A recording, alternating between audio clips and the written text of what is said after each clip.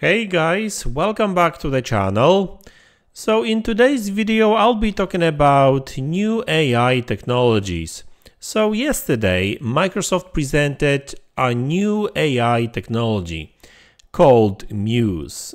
And it's probably an abbreviation of something. I don't really know what that stands for, but it doesn't really matter. It's called Muse.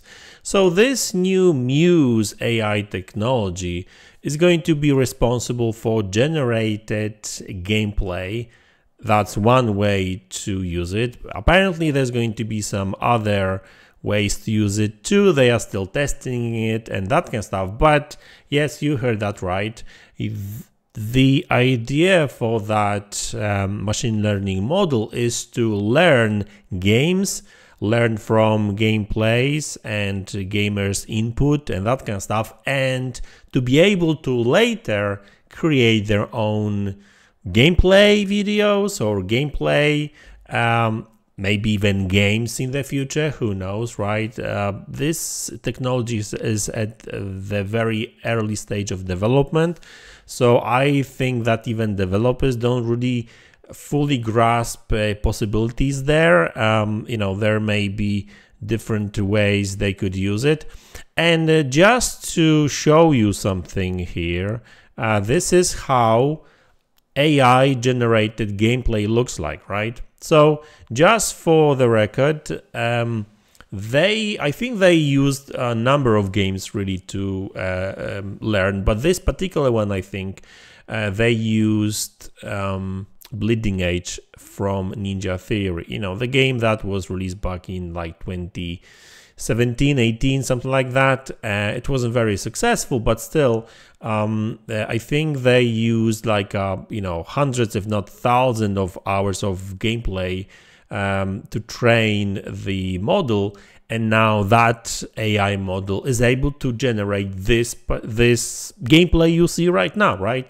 Now, by the way, uh, you will find the link to the um, full article about it and these videos. Now, these videos are of a very low quality, and I think that's one of the limitations of that AI model right now, that it, it can generate like gameplay you know, at like 360p, something like that, right? So it's probably going to improve in the in the future, but still, uh, this is how that gameplay looks like. Uh, there's like different scenarios over here, all based on the Bleeding Edge game.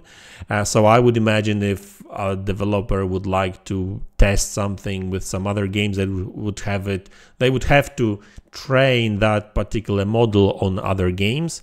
Um, maybe in the future we will have one big model that knows all kinds of gameplays and then they could, developers could experiment with it. Now the real question is what the hell are they going to use it for right?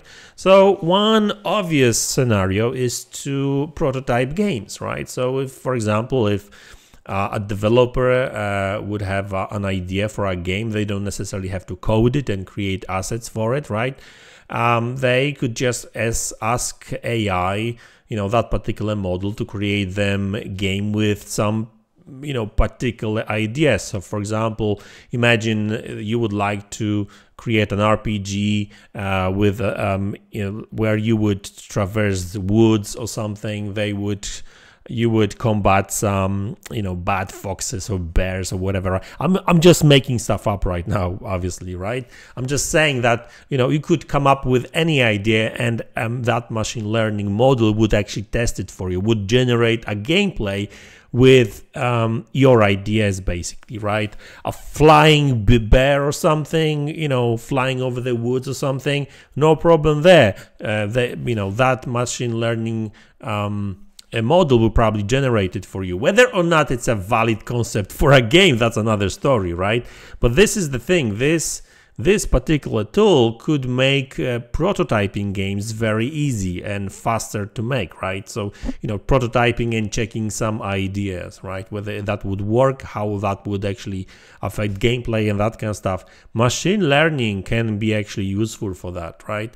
So that's one way to actually use that new technology. Another one um, is uh, is the one that Phil Spencer actually uh, suggested, and he was talking about game preservation as he you always do, and um, he mentioned something about um, basically taking old games and making them work on new hardware, right?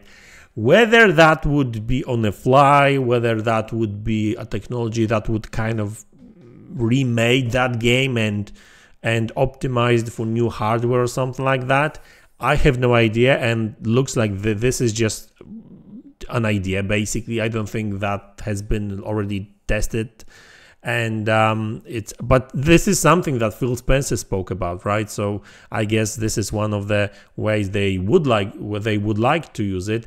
And the thing about machine learning in general is that a lot of developers is right now is just testing and checking all kinds of ideas uh, how to use machine learning, and um, I think they are discovering like more and more ways to use uh, machine learning.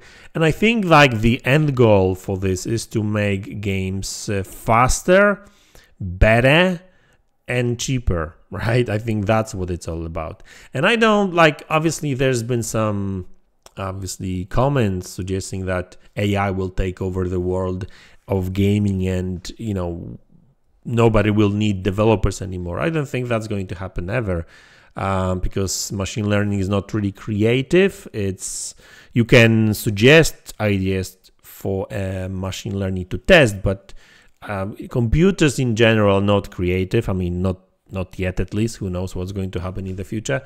Uh, but um, you know that's why it's actually machine learning kind of technology rather than a few full AI, artificial intelligence. It's not.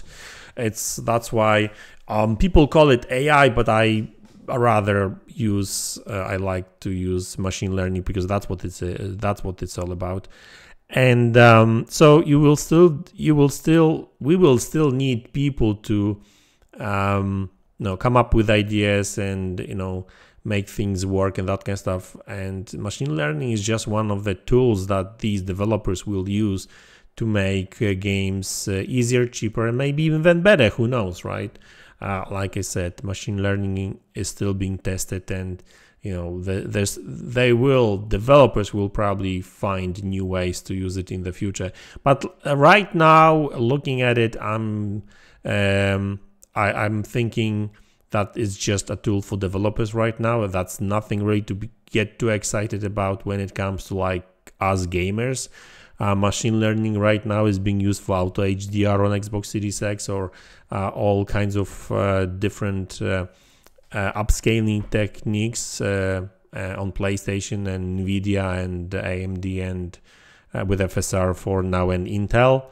Uh, sadly, Xbox Series X don't have any machine learning based uh, upscaling capabilities. I mean, it has capabilities, but nobody uses it, right? You know, imagine that.